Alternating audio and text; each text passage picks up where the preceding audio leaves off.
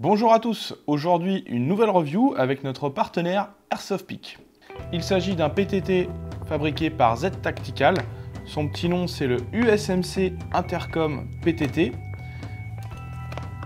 Vous le retrouverez sur le site Airsoft Peak sous la référence 13107 et il vous en coûtera 24,99$. N'oubliez pas le code de réduction de 5$ dans la description de la vidéo. Ce PTT est une reproduction d'un modèle fabriqué par Thales pour les grosses radios PRC 148 normalement. Celui-ci est compatible avec différents types de radios. Cette version est une version euh, Kenwood, comme nous l'indique euh, la petite étiquette. Il en existe pour version Midland, Motorola, etc. etc. La qualité d'ensemble euh, plutôt correcte, le plastique a l'air assez rigide, assez robuste. Cependant, la finition n'est pas parfaite. On peut noter ici une trace de, découpe, probablement un, cutter pour enlever un petit défaut de fabrication. Donc on a un petit défaut ici qui n'est pas très esthétique, ainsi que des traces de moulage euh, un peu partout. Le vrai euh, PTT fabriqué par Thales euh, dispose de fonctionnalités que celui-ci n'a pas, notamment un bouton ici, d'où l'empreinte qu'on a là, ainsi qu'une prise écouteur ici. Donc cette version ne les possède pas. Par contre, on va retrouver quelque chose qui est très sympathique, c'est le bouton de réglage euh, du volume. Donc ça va vous permettre d'ajuster sans toucher au réglage de la radio le volume des sons que vous allez recevoir grâce à ce, cet haut-parleur. Donc ça c'est très pratique.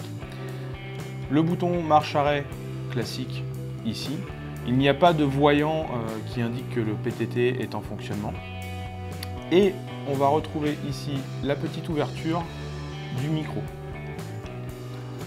ZEC Tactical ne nous donne aucune information quant à la résistance euh, à l'humidité euh, de ce produit. Euh, donc j'ai envie de dire, ne prenez pas de risque puisque visiblement on voit très très bien le, haut-parleur en transparence ici. Donc je pense que la protection contre l'humidité est quasi nulle. Donc attention à la pluie. Le système d'attache est très résistant. Euh, on a ici un clip avec un, bon ressort, avec des petites dents ici qui vont bien agripper, ainsi que des petits picots sur la partie métallique. La fixation euh, peut pivoter à 360 degrés. C'est bien pratique pour le positionner n'importe où sur votre tenue. Contrairement au vrai, le câble de raccordement à votre radio euh, sur la RoPro il est complètement droit, alors que sur le vrai, c'est un câble façon téléphone, hein, tout entortillé. J'ai fait quelques tests avec cette radio et concernant le réglage du volume, il y a quelque chose d'important à savoir. Euh, donc lorsque le volume est au maximum, bien sûr, vous entendez très très bien euh, la conversation en fonction du réglage que vous aurez fait euh, sur votre radio, bien sûr. Par contre, lorsque vous mettez au minimum, il n'y aura plus du tout de son. Voilà, ça va couper complètement euh, le son du PTT.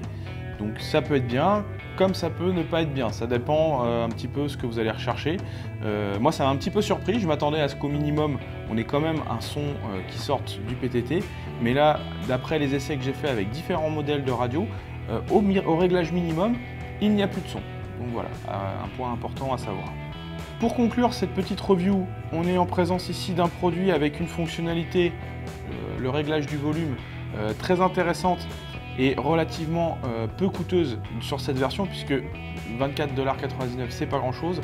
Lorsqu'on regarde un petit peu sur internet euh, le prix de PTT qui dispose de cette fonctionnalité, on est sur des prix quasiment le double. Donc là on est sur un produit peu cher avec le réglage du volume ce qui est très pratique, qui en plus reproduit un modèle existant, donc ça ça peut intéresser toutes les personnes qui cherchent à avoir une tenue la plus euh, fidèle possible à une unité existante.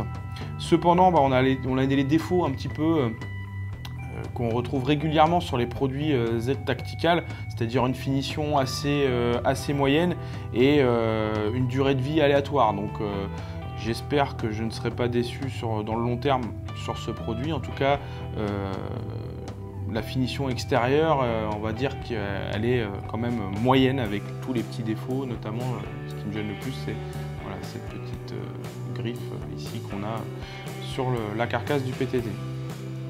Voilà, cette revue est terminée. Encore une fois, n'oubliez pas le coupon de réduction dans la description de la vidéo de 5$ sur votre prochaine commande sur le site Airsoft Peak et je vous dis à bientôt pour une prochaine vidéo.